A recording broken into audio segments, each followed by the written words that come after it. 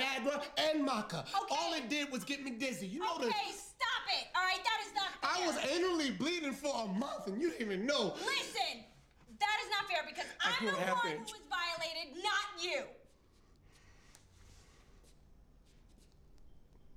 Sorry. Sorry, I'm sorry, I'm sorry. It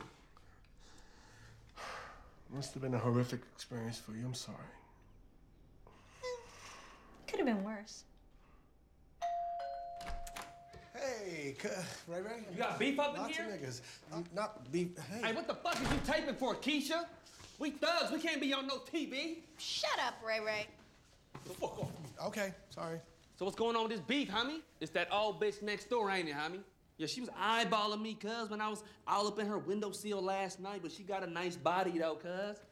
Look like a sexy ass baked potato, homie. It's not like that. What the fuck is it like then, homie? Well, someone's coming between me and Keisha. Somebody fucked your girl, cuz? Well, no. I've been wanting to fuck your girl. Oh, Oh, please. how you let somebody fuck your girl before me, cuz? We family, nigga. I'm sorry, kinda. How the fuck you kind of bang Keisha, homie? Huh? Did he have one pant leg in, one pant leg out? Like he wasn't even interested in fucking her, homie? Like he had somewhere better to be, homie? Okay, Ray Ray, that is not what it's like. And can you please tell your Negro to back the hell up off me? Hey, pelvis back two inches, homie. But stay up on her, though. What the fuck is it like then, Keisha? If you hmm? listen, I'll tell you. You tell me. I can't wait to get my hands on this food. Come on out, cuz! Ray Ray, cut it out. You're gonna make it mad. I don't give a fuck, Keisha.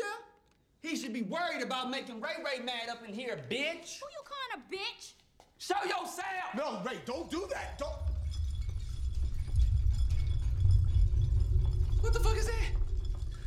A ghost, Ray. A ghost ghost? A ghost ghost. Like a dead ghost? Yes! Ray Ray, that's what we've been trying to tell you for 15 minutes. You idiot. What the? f- What in the hell? What happened to your furniture, cuz?